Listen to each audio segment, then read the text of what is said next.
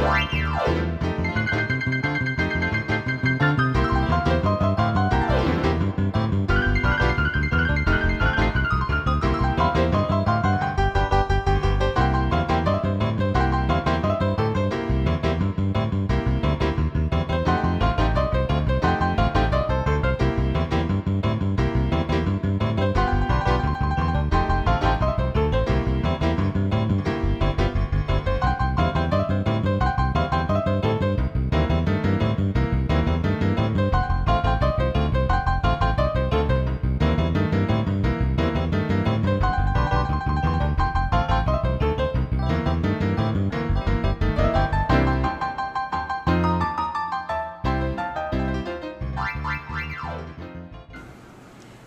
us a little bit about you, especially as a student of the 1950s.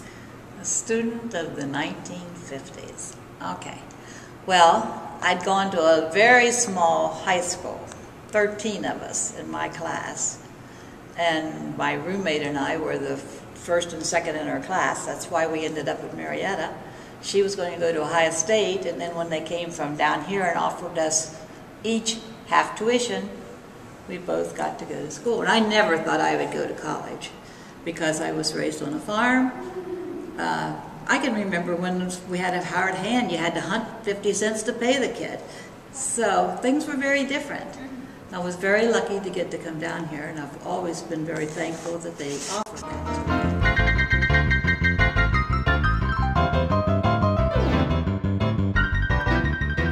I had an older sister, and I had an older brother and a younger sister. My older brother always helped dad on the farm till he turned like 19 out of high school and decided that running with or working with horses was not for him.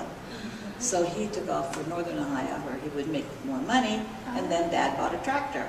So I spent my years on the farm, older, driving the tractor and making Wow. hay and helping with the cows and just the normal things that farm girls do.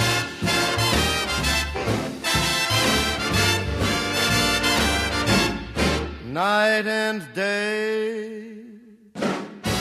You are the one. What experience did, experiences did you have as a student in the 50s? As a student, well, first of all, there was a lot more in classes than I was at all used to. And um, I had a lot of labs, which I had never had labs at all because we just had, even in high school, I think there were three rooms in my high school. And um, I spent a lot of, you'd go in the morning, you'd go to a class, and in the afternoon, you'd have the lab to go with it. And I did that with the biologies, and I did that with the um, home economics a lot. And I even took a speech, one of those, who came down here and, and got things ready for the play. I never was in a play at the college. I'd done a lot of that in high school, but I never did it here. So, what were your professors like? Well, I guess I was luckier. I just like people. Uh-huh. And uh, I loved Herr Blake, who taught the German. I mean, uh, he would like to say, Fraulein Martin, do page so and so, so you Uh-huh. better be ready when you came to class. Right. And uh, uh, Frederick, I don't know whether he was a doctor or just a professor. He he was so wonderful for himself when he would do uh, any poetry or anything like that. Um, the English things, that was to me. I guess I'm kind of like if I want to write something down, I just want to write it down. And they wanted me to write a big discourse on something. Right. And it, that was very difficult for me to get into the habit of trying to get what they want. Were you amongst, were you among a few women, or was it pretty? Pretty much, pretty much. Uh, by working, I missed out on a lot. But What were you- I, What were you? well, doing like the meals, that was the way I was got my meals by doing the dorm. You are the one, only you need the moon or under the sun. Uh, entertainment. Um, as a college student, what did you enjoy doing? Isn't that funny? I can't even think of anything we did. Uh-huh. I know we. I know one semester I learned to play bridge. Oh, my grades went down, and my dad and mother didn't appreciate that, and that was the end of my bridge playing. I don't to this day play bridge, although I love to play cards. Uh, and of course, we didn't have TV at the dorm, so a lot of it was just conversations and you know, Right. doing things that we should have been studying, but we were having fun instead. That's part of college too. Yes, I guess it is.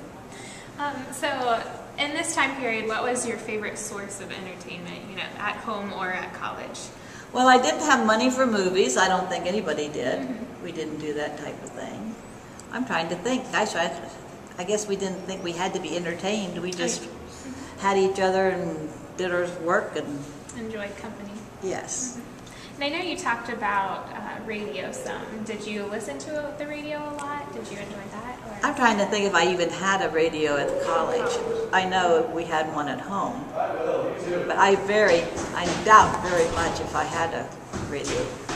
Uh, somebody made, but it wasn't something that you went and did. It was more interaction between people. And I don't think that's what goes on now, as much interaction.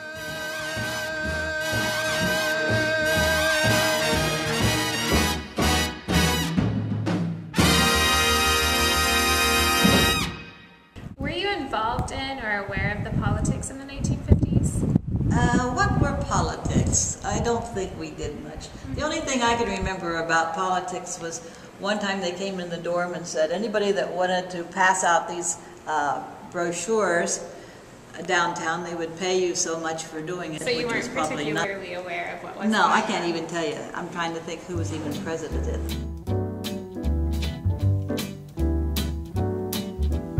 L is for the way you look at me.